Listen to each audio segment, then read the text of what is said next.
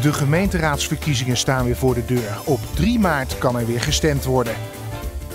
In Kampen doen er 9 partijen mee. Om je te helpen kiezen stelt IJssel TV de verschillende lijsttrekkers aan je voor.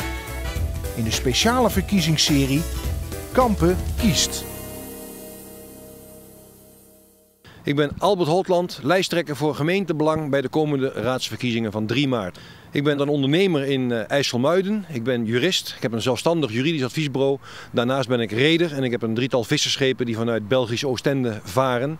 Ik heb eerder bij de politie gewerkt in uh, Amsterdam. Daarnaast heb ik, daarna ben ik uh, bij Martinair gaan werken en ik heb lucht- en ruimterecht gestudeerd op de Universiteit van Amsterdam.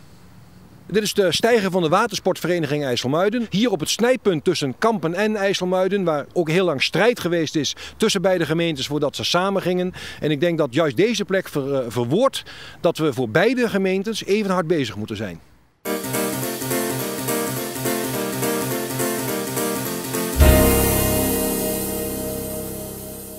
We hebben een besluit genomen in de gemeenteraad dat wij het parkeren aan de rand van de stad willen gaan doen. Dus dat betekent hier in IJsselmuiden aan deze kant van het station. Dat betekent op het Meeuwplein dat we daar parkeerplaatsen aan zullen leggen. Maar er moet ook wat gebeuren aan parkeerplaatsen in de stad. Maar het is één van de onderwerpen die hoog op de agenda staat voor GBK. En die in de eerste komende periode direct aangepakt moet worden.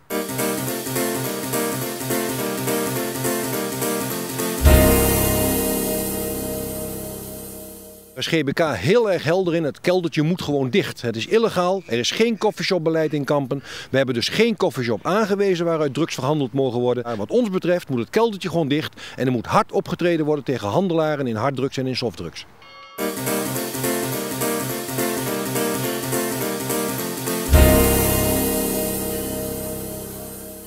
Er hoeft wat ons betreft op dit moment zeker nog geen woningen te komen. We hebben daar steeds van gezegd en ook in het raadsprogramma opgenomen, wat wij in eerste instantie gesteund hebben. Woningen over de Zwarte Dijk, wat ons betreft alleen wanneer het demografische ontwikkelingen dat noodzakelijk maken.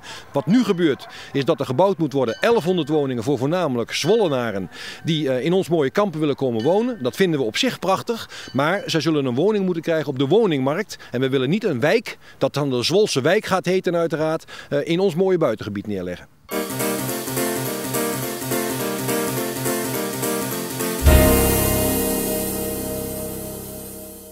Ik denk dat mensen dit keer op GBK moeten stemmen om GBK de kans te geven om uh, zich in het college te manifesteren, om mee te helpen het beleid te maken voor de komende vier jaar binnen de gemeente Kampen. Wij willen ons daar inzetten, zoals ik ook net al gezegd heb, voor het drugsbeleid. We willen graag kijken of Kampen een drugsvrije gemeente kan worden en ook kan blijven, dat we daar een goed beleid op hebben. We willen zorgen dat de bypass mogelijk aangelegd